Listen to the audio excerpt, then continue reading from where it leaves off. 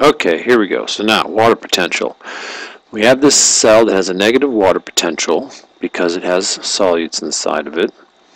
And so what happens if we put it in a solution that has an even lower water potential? Where does the water want to go? Um, the water, as we see, will always go from where there's more of it to where there's less of it.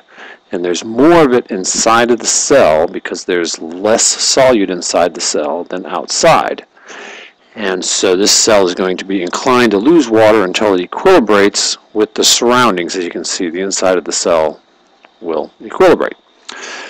Now, if we take that same cell and we put it into just pure water, pure water has, there's no pressure here, there's no solute, so it has a water potential of zero. What's going to happen there? Well, there's, per unit area, there's more water on the outside, so it'll flow in. Well, the cell, because it has a fixed size in the cell wall, the solute doesn't change, but the pressure changes. All that, that water coming in will create lots of pressure and um, enough pressure to eventually, essentially equilibrate with the outside, but what you're really changing is the pressure on the inside, that component of the water potential. And as you recall, if we throw some terms on here, when we put this cell into this solution, of course, they're not isotonic at first because the cell we're putting in has what? It has less less solute, so it would be the hypotonic solution inside it, and it would be hypertonic on the outside, and so the water flows from the hypotonic to the hypertonic. And the opposite here, the water on the outside would be the hypotonic solution, and inside would be the hypertonic, and so the water flows in, again attempting to reach equilibrium. Okay, so let's focus on water a little bit here. So the roots absorb the water, and um, we do this by solute concentrations to draw that water in. It's more concentrated on the very inside of the root than on the outside, and the plant will control those solute concentrations to draw that water in. Water can take a couple different routes. It can pass through cells, or it can kind of go around the cells, between the cells, um, along the cell walls. However, there is this um, uh, cylinder of cells that surrounds the very center. It's called the uh, endodermis here. And what it does is it has a waxy material that surrounds the cells and prevents water from going between. And so the water is basically forced through the cells. Uh, the plant, in essence, wants to do this because it wants to be able to control the flow of water and when it's going through the cells it can do that more easily than when it's just sort of going around the cells and so this epidermis or endodermis forces the water to go through these cells. Alright, um, we'll come back to this slide in a second, but uh, let's look here. So how does water get up the plant? Well, essentially what we do, what the plant has is decreasing water potential as you move up the plant.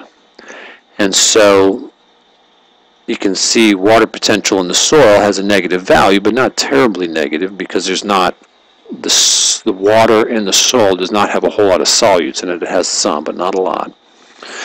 But inside the root, it's slightly more negative.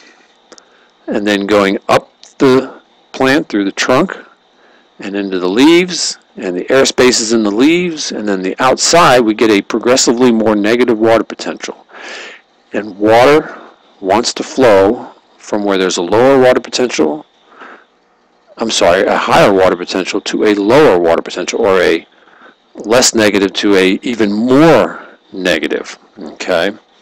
So this differential in water potential is what basically draws water into the plant and up the plant. And so the air surrounding the leaf is relatively dry compared to inside the leaf, and so that essentially draws water out of the leaf into the air spaces inside the leaf and out of the um, cells inside the leaf. So there's this constant movement of water from those cells to the air spaces outside, which draws water out of the vascular tissue, which then draws water up the vascular tissue and draws water into the roots out of the soil. Okay? And what allows it to move up really high? Well, if we remember the nature of water, that water is sticky. It's a polar molecule, and so you get this constant flow up these xylem vessels of these water molecules that are basically stuck to each other because of the polarity and are being pulled up the plant, you might say. okay, so it's being drawn in and then pulled up the plant. All right, here's another example where we're going to move water around. So here's those guard cells of this uh, stoma, this opening. And so when it's open, then gases can flow in and out of the leaf, including water can then evaporate out of the leaf or can lose it through transpiration is the official term when plants lose water this way. All right, so now the plant's getting dry. It doesn't have quite enough water, and so we don't want to lose any more, so we're going to close the stoma. Well, how are we going to do that? What the plant does is it pumps ions, these red dots here, potassium ions, out of the guard cells, and then the water follows. This plant leaf, we say uh, this plant cell, these guard cells become what we say flaccid. They don't quite have as much water, so they're not as as um, rigid, you might say, and so it causes them to collapse down on each other and close the stoma. Again, we're moving ions, and the water just follows along. Okay. Now, phloem.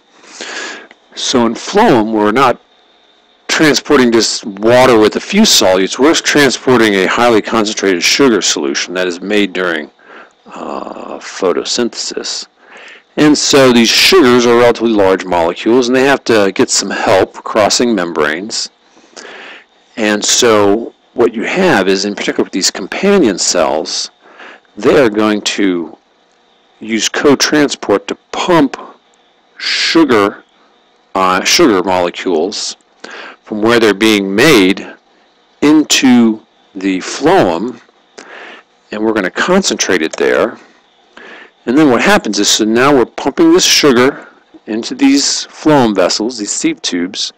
And so now when you got all this sugar in there that lowers the water potential which then will do what with water it'll draw water in from the surrounding cells and that's what we have going on here water coming in that creates pressure inside this xylem uh, this I'm sorry, this phloem vessel, and basically forces the water to move. So what we do with phloem is we pump the sugar in, the water follows, it creates pressure and forces this sugar solution to go moving around the plant. And in particular, it'll move to cells that are sinks for the sugar, where there's less of it, and we want to store it there. So we have sources of the sugar where it's being made, and we have sinks where we want to store it, inside the stem or in the root, for example. All right, uh, chapter 37, just briefly, nutrition, soil. So the basics of what a plant needs again, you need some carbon dioxide, um, you need some water and some minerals to help the plant grow. And we get the water and the minerals from the soil and the carbon dioxide from the air. We give off water through transpiration. Uh, and we also release oxygen. We have to tape in oxygen through the roots again and give off CO2 there. And here's that example I was talking about with um, plants growing in an aquatic system. Here are some mangroves. So this would be a saltwater situation. And so their roots are down here.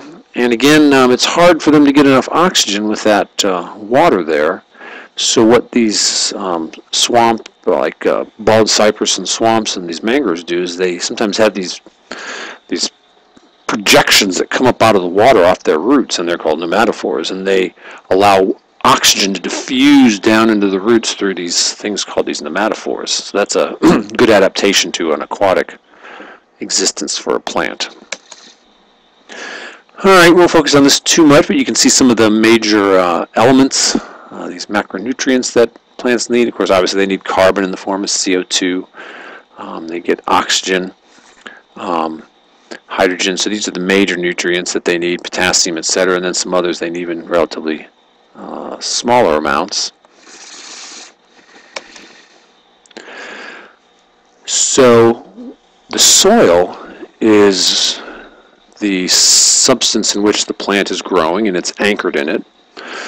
But the soil is also very important for supplying nutrients to the plant.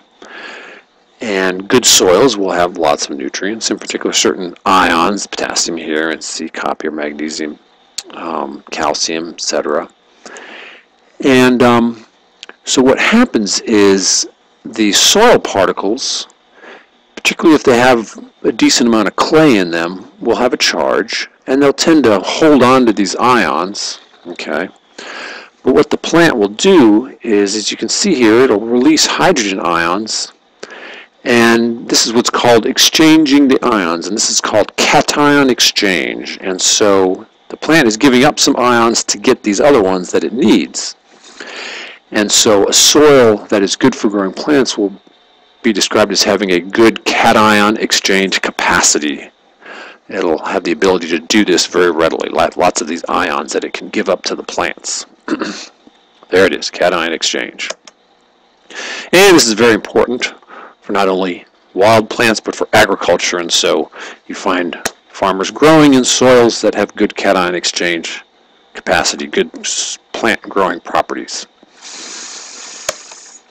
Okay, so um, when we talked about the nitrogen cycle, we talked about these bacteria that are very important for taking nitrogen out of the air, and here we see these nodules with these bacteria growing in them on these the roots of the roots of this plant.